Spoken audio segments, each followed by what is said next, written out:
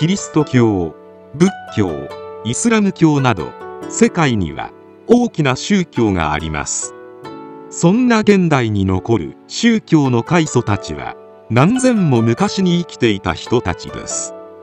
現在でも信仰されている大きな力を持つ宗教の開祖たちがこぞって古代の日本に来ていたという話が本当だったら驚きますよね。しかし実はそんな嘘みたいな話が残る古文書が実在するのです。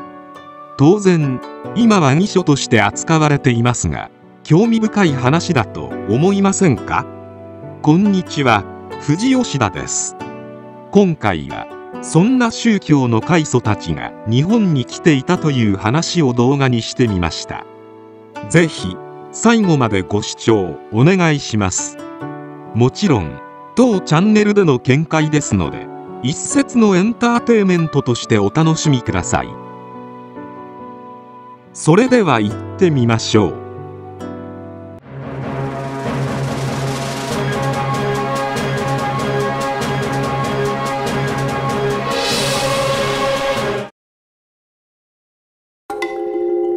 今も伝わる数々の証拠。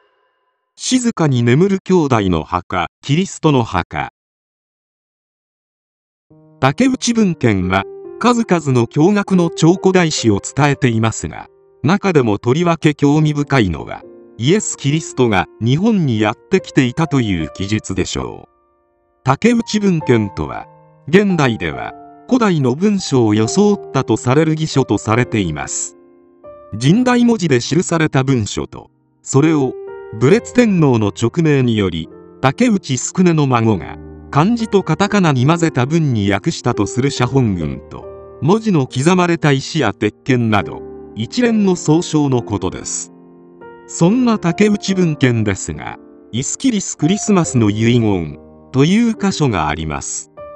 イスキリスとはイエス・キリストのことなのですがその文書にはゴルゴタの丘で貼り付けの刑に処せられたのは本当はイエスの弟のイスキリでイエスは密かに難を逃れ日本列島にやってきたと書かれているのです。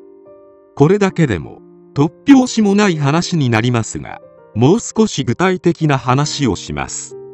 竹内文献によればイエスはそれ以前にも一度20歳の時に天橋立に上陸したと書かれています。天橋立は京都の北の日本海に接する場所に位置します。そしてイエスは日本の王に拝謁した後2年を過ごしています。そして日本で学んだ知識を伝えるためにユダヤの王に請われてユダヤへと向かいキリスト教を広めゴルゴタの難で生き延び再び海を渡って日本に来たというのです。イエスは2度目の来日後はトライ太郎大天空と名乗り青森県平井村現在の信号村で地元の女性と結婚。3人の娘の父親となったといいます。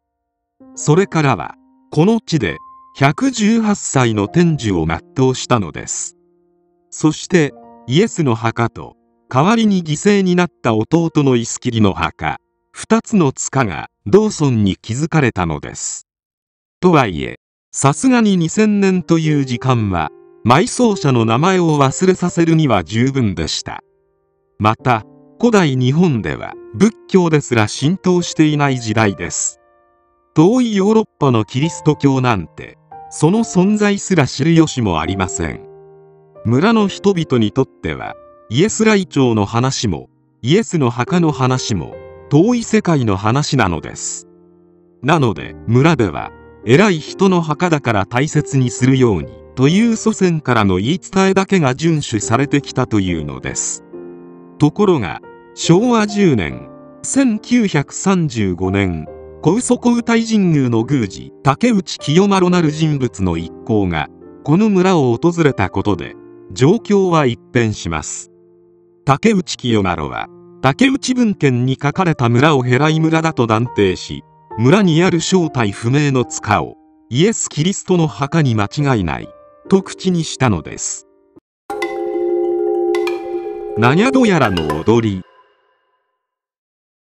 もちろん竹内清丸にしてもただそこに塚があったというだけでこれをキリストの墓としたわけではありません。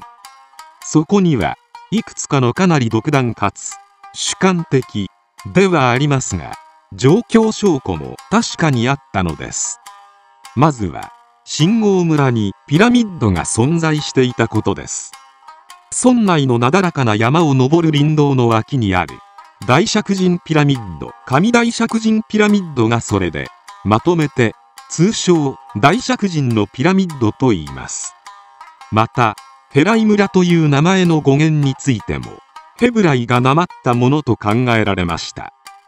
さらに塚を守ってきた家の家紋が星型でユダヤのダビデの星を想起させることなどもあります。調査当時の村にユダヤ人風の装帽をした人物が多数見られたこと。村に古来から伝わる風習で赤ん坊のおでこに十字のマークが描かれること。かつては村の子供のちゃんちゃんこに星型の家紋を縫い取りしたこと。そしてもう一つ大きな影響を与えたのが神学博士の川森田英二がこの村を中心に伝わる盆踊りの歌の歌詞について斬新な解釈をしたことでした。歌のタイトルは何宿やらというのですがはっきり言って日本語では意味不明の歌詞ですよね。ところが川森田はこの歌詞を古代ヘブライ語で解釈できるとし次のように翻訳したのです。見前に生命を褒めたたえん。見前に化人を討伐して見前に生命を褒めたたえん。つまりこれはヘブライ語による進軍化だというのです。ここまできれいに証拠が揃うとかつてキリストがこの村を訪れていたという可能性もあながち否定できないものになりますよね。果たしてキリストはやはり日本に来ていたのでしょうか。謎は深まるばかりです。現在ではキリストとイスキリの墓はしっかりと整備され公園となっています。また古代ヘブライ語のナヤドヤラも村人の間で歌い踊り継がれているのです。日本を3度訪れた英雄宝達山に眠るモーセの墓。宝達山は石川県にある標高637メートルの山です。能登地方では最高峰の山です。その宝達山の山麓に三子塚と呼ばれる3つの古墳があります。実はこれがモーセ夫妻と孫の墓と言われているのです。これもキリストが日本に来ていたと記した竹内文献に記されていたのです。それだけではありません。同時にこの山はモーセが実会を授かった山だとも言うのです。モーセはエジプトで奴隷にされていたイスラエルの民を救い出し約束の地へと導いた聖人です。ユダヤ教キリスト教イスラム教において最も重要な預言者なのです。実会とはモーセが神から与えられたとされる十の戒律のことで旧約聖書に書かれておりエジプト出発の後にモーセがシナイ山にて神より実会の記された石板を授かったと記されています。そう世界的には実会の石板を授かったのは中東のシナイ山というのが定説なのです。ところが竹内文献ではそれと全く異なる歴史が語られています。竹内文献によると確かにモーセは市内山へ一人で登りました。しかしその後天の内船に乗って能登へとやってきました。そして天皇に謁見し実戒を得るのです。それから市内山に戻ったというのです。またユダヤの民を導いた後は実会が刻まれたナイル川産のメノウ石を持って再来庁しました。メノウ石は島状の玉髄の一種でオパールなどが火星岩の空洞中に層状に沈殿してできた鉱物の変種です。その実戒が刻まれた目の石を天皇に献上するとともに経過報告を行っています。痛く喜んだ天皇は第一巫女の大室姫を与えたといいます。さらにモーセはイタリアへ向かいそこでローマを建国し三度日本へとやってきています。そして宝達山に妻と共に住み583歳の長寿を全うしたそうです。現在モーセの墓一帯はモーゼパークとして公園になっています。緑の木々に囲まれた山の中で登山道にモーセの墓三子塚があります。一つの山に小山が3箇所盛り上がっているといった感じです。これがそれぞれモーセと妻の大室姫そして孫のタルラス・イホフビリオスの墓なのだそうです。現地の人もそんな事実は信じてはいないそうですが町おこしの一環としては面白いですよね。開口がさまよう謎の塚。修行の山に佇む。釈迦の墓。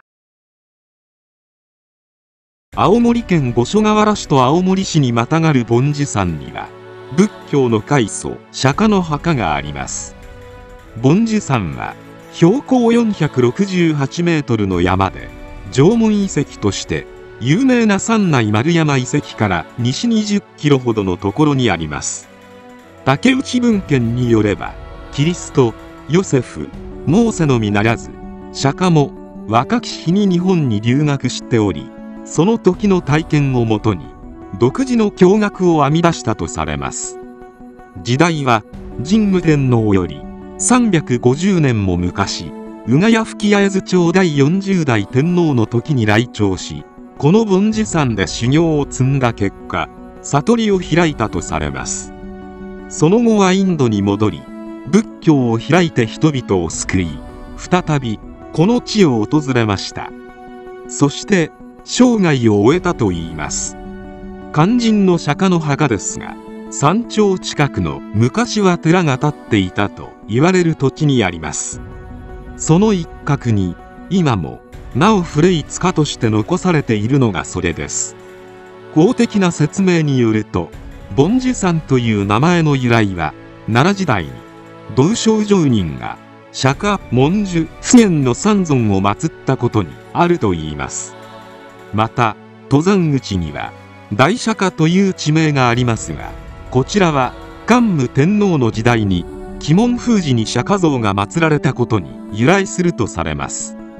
しかしもしも本当にこの塚が釈迦の墓で山全体が若き日の釈迦の修行の場だったのだとすればこの地名の由来もまた別のものになる可能性があるわけです。そもそも津軽下北半島を見下ろすこの一帯の山々には霊山とみなされるものが多く古くから山岳信仰や修験道の場となってきました。梵珠山もこうした山岳霊場の一つではるか昔から霊的修行を行うにはうってつけの場所だったのです。ちなみに梵珠山ではしばしば火の玉が現れるという噂があります。一説にそれは釈迦の墓に霊が帰ってくる時の光。五光ではないかとも言われているようですがもちろん真偽のほどはわからないのです。いかがでしたでしょうか？竹内文献は現代ではとんでも本として本当に信じている人はほとんどいません。しかし全部が嘘なのか少しの真実もないのかということに関してはそれもまた証明することはできないんです。嘘の中に真実があることもまた否定できないのです。最後までご視聴いただきありがとうございました。もしこの動画が良かったらいいねボタンチャンネル登録コメントよろしくお願いします。